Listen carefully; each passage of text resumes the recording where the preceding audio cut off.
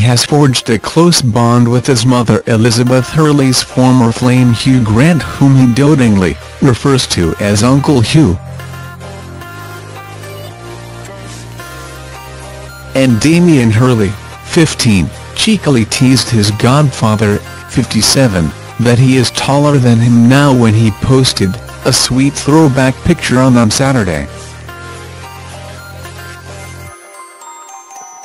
The teen shared a snap of himself aged 10 accompanying the Hollywood actor to his film premiere The Pirates in an adventure with scientists in London in March 2012. Scroll down for video in the snap, Dapper Hugh put an affectionate hand on the little boy's shoulder, showing how close they are when they grace the red carpet together. Now more than five years later, Damian poked fun at his godfather as he, he is taller than the Bridget Jones heartthrob in a tongue-in-cheek fashion. Elizabeth's son, whose father is entrepreneur Steve Bing, wrote, Who would have thought I'd be the taller one now? Before Damian and Hugh attended their first premiere together, Elizabeth joked that her son had been banned from seeing most of Hugh's films because of swear words. She did however admit she would let him watch her own films including Austin Powers and Bedazzled which had an age 15 rating. We're always trying to find something that Uncle Hugh has done that he can see, but they're full of swear words she told The Telegraph in 2010. We can't find any.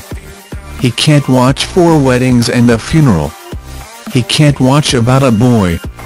It's quite difficult trying to find stuff for kids.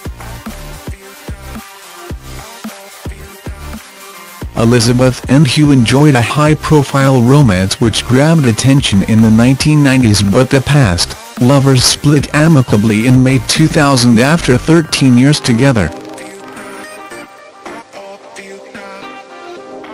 The model first propelled into the limelight on the arm of the hunky superstar when she wore a black, Versace safety pin dress for four weddings and a funeral premiere. The former Flames have remained close and as they live round the corner from one another. The BAFTA winner and his godson have gone from strength to strength. Proving they're still close, Damian accompanied Hugh to the London premiere of his latest movie Paddington 2 in November. Paddington 2 follows on from the first movie which ended with the nation's favourite bear happily living with the Brown family in Windsor Gardens. Hugh takes on a new role as the somewhat shady, charming actor Phoenix Buchanan, whose career has diminished in recent years.